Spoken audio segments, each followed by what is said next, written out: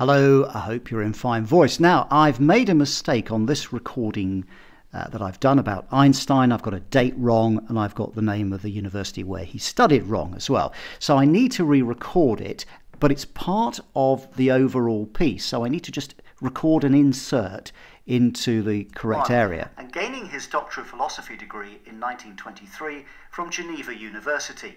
It was while employed. So it's just this bit here that I need to re-record. So I highlight it, go to tracks, and then add label at selection. That will give me a marker. There's the marker there, look, on this second track, so I can see quite clearly which needs to be re-recorded. I then mute the first track on the left-hand side, and that now means that it won't play the original track while I record the new track. Very important, because I don't want to hear that playing at the same time. And now I'm going to re-record the new track. So get my script ready and press record. And gaining his Doctor of Philosophy degree in 1905 from Zurich University.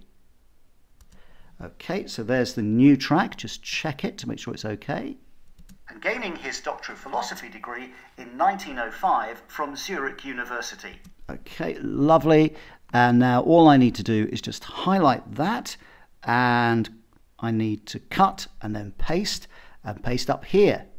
So it's where the mistake was made, just re-recording that phrase and I'm going to paste it in, paste it, and now unmute so I can hear it. One, and gaining his Doctor of Philosophy degree in 1905 from Zurich University. And job done.